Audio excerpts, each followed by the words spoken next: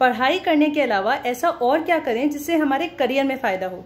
Check this out तीन चीज़ें आप कर सकते हैं. नंबर एक, अपने कम्युनिकेशन स्किल्स को डेवलप करना। खासकर कि अगर आप सी ए C S C M A जैसे कोर्सेस में हैं तो हम एज अ स्टूडेंट बाहर की दुनिया से कट जाते हैं। हमारा इंटरेक्शन बहुत कम हो जाता है as compared to a M B A student इसलिए बहुत ज़रूरी है कि हम अभी से अपने कम्युनिकेशन स्किल्स पर काम करें। नंबर दो, बहुत ज़रूरी है बेसिक लेवल का माइक्रोसॉफ्ट वर्ड और माइक्रोसॉफ्ट एक्सेल हमें आना। बहुत सारे ऐसे वीडियोस हैं कोर्सेस हैं, जो कि फ्रीली अवेलेबल है यूट्यूब पर।